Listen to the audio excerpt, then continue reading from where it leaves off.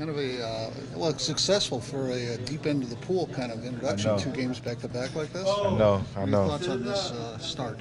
Um, for me, it was um, it wasn't you know what I, I expected, but you know, as far as the win, I expected that. You know, as far as me, you know, performing what I did, you know, I thought I would do better.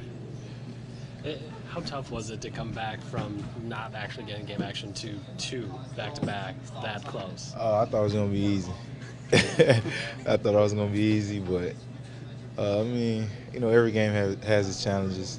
Um, you know, we did a great job, you know, as a team to, you know, close this one out. You know, some games is gonna be like this, you know, where you know certain people not, you know, performing the way they should. You know, it's gonna take a team effort to finish the game out. When you look at kind of getting to play with Malcolm some, you guys are going with some two point guard lineups. That's something you've done in the past. Oh, for sure. Um, how has that been with Malcolm in that role? Uh, You know, I just tell them to stay aggressive. You know, I tell them to stay aggressive. Uh, you know, because you're gonna need everybody.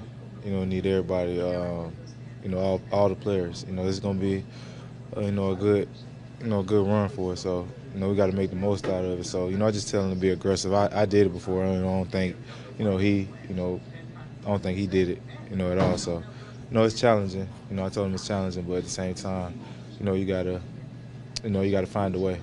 Do you think that's something you can help him out with, help him through that kind of process of playing a lot with another point guard? Oh, for sure. You know, like I told him, you just gotta, you know, find a way. You know, sometimes, you know, the, ball ain't gonna, you know, always bounce your way, but you know, you gotta find a way, you know, to affect the game. You know, uh, you know, that's what you know I learned. You know, playing, you know, off the ball, you gotta find ways to, you know, affect the game. Whether it's, you know, getting key stops, key plays, uh, you know, anything. Is this an emotional week? I mean, in terms of changing the teams and then coming in and having to you know, get thrown right into it. Malcolm is moving into a you know different role. It seems like there's a lot of a lot of things going on here. Uh, no, I mean it's basketball. At the end of the day, we love doing it. You know, um, more than anything, you know, it is a job, but at the same time, and this is something we love to do. You know, we wouldn't be here if we didn't love it. So, you know, This is kind of your first introduction to Milwaukee. You got here on a sellout night. Like, what do you think of the crowd? I thought it What'd you was amazing. I thought it was amazing. Um, you know, the intensity. You know, the, the crowd. You know, they was on our side. Um, it was amazing, man. Uh, that's all I can say. You know, I, I appreciate that. What did you learn in your short time of playing with Giannis about about you know what that provides, what that requires? I mean, running the floor. You know, he's a talented player that can bring the ball up the court.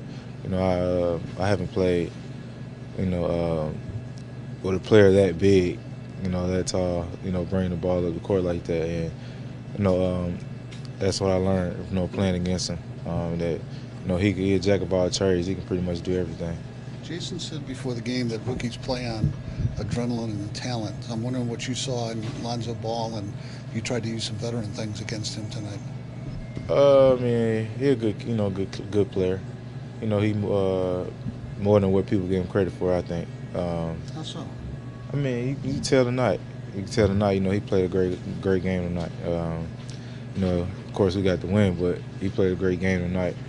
Uh, you know, most people, you know, pretty, probably, uh, you know, dog him out or something like that. But you know, I thought he had a, you know, hell of a game.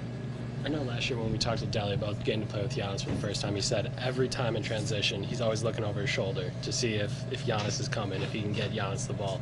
Are you kind of going through that as well? Obviously, you have to Yeah. keep your mind on attacking, but Uh, I mean, I just play how the game comes. I just play. Uh, you know, the first option is the tech, and you know, Giannis bring that second wave in is, you know, that force of coming in and just giving the ball and let him do what he do.